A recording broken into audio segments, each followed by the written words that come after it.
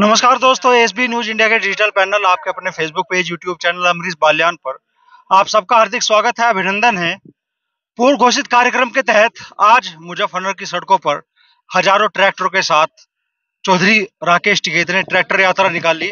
और ये यात्रा सिर्फ़ मुजफ्फरनगर तक ही सीमित नहीं रही, प्रदेश के लगभग हर ज़िले में अलग अलग भारतीय किसान यूनियन के नेताओं ने इस यात्रा का नेतृत्व किया। तो चौधरी साहब आज किस मकसद के लेकर ये ट्रैक्टर मार्च निकाला गया? ये अगस्त क्रांति ट्रैक्टर मार्च है। एनजीटी से ट्रैक्टर बाहर हो, जो दस साल पुराने हैं, जो सरकार ने पॉलिसी बदली तो एनजीटी से इनको बाहर निकाला जाए। जो फ़सलों का नुकसान है, उसकी भरपाई हो। सरकार कह रही कि हम, ये आपदा नहीं है। पानी से नुकसान हुआ और आपदा है नहीं तो भाई सरकारों की जो पॉलिसी है, वो समझ से परे है।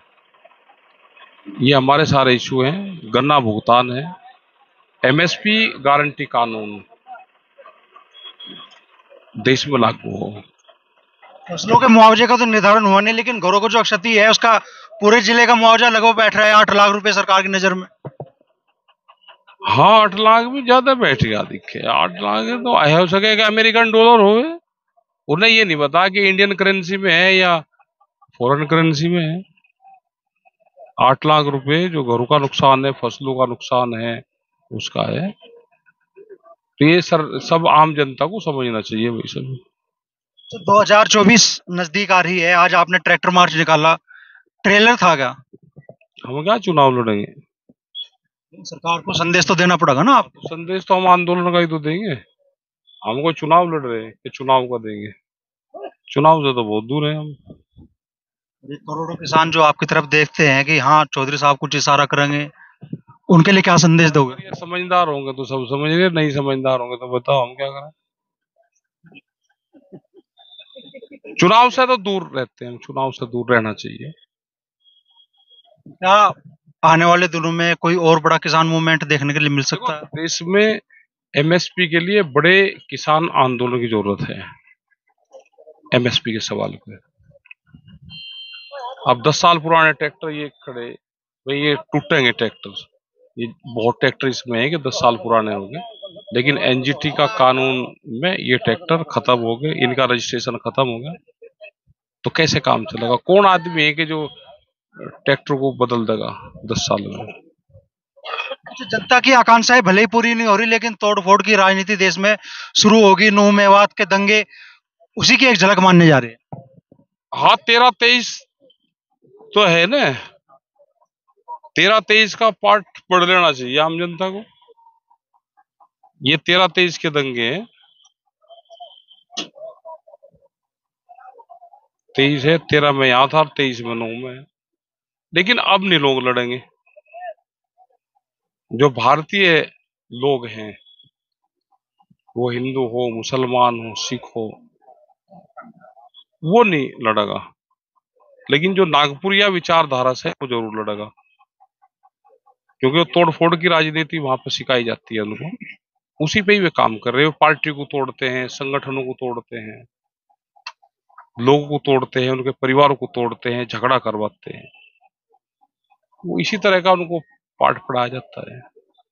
मेवात दंगों के बाद से जाट समाज को उकसाने की बड़ी कोशिश हो रही है कि साहब जाट शांत है फलाना ढिमकाना सो चीज़ें आ रही है। एक कम्युनिटी को बदनाम करने की एक बड़ी साजिश है ये। जाट तो मुसलमान भी है। ये सारे के सारे गाँव में मुस्लिम जाट भी है सिख जाट भी है वैसे भी है। तो यही आपस में लड़ते फिर रहे। ये लड़ाई बिड़ाई तो छोड़ रखी और ना ये कभी लड़े। ये तो हकों के लिए तो लड़ते हैं, और सब लोगों को साथ लेकर चलते हैं। अकेले से कभी कोई कुछ नहीं होता। और जो कह रहे हैं, एक बिरादरी को बदनाम करने की एक बड़ी साजिश है। मेवात में दंगों के बाद में अब किसान संगठन भी सामने आया, उन्होंने कहा कि भाई, कुछ संगठनों ने ऐलान किया था कि भाई मुस्लिमों का बहिष्कार करने का। अब किसान संगठन सामने आ रहे हैं कि वो बीच में खड़े कोई नहीं वो करता। मुसलमान भी तो किसान ही है। ये किसी किसान संगठन को किसी ने ताकत दे दी वो किसी एक बिरादरी का या किसी उसका वो करेगा। यहाँ शिव चौक पर फूल बेचने वाले हैं या कौन है? इनका भी एक बार अता पता कर लो। और भगवान शिव पर चढ़ते हैं इनकी खेती करने वाला कौन है? मूर्ति बनाने वाले कौन है? ये बांटने का काम करा जा रहा सबके आप अपने काम में। देश में वोट कैसे मिलेगी? उस पर रिसर्च चल रहा।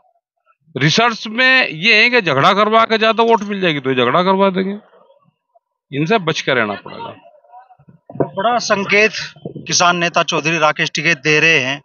नूह मेवात दंगों को भी उन्होंने बड़ा बयान दिया। उन्होंने कहा कि किसान हर तबके में हैं और 2013 में जो प्रयोग भी का यहाँ सफल हुआ था वेस्ट यूपी में।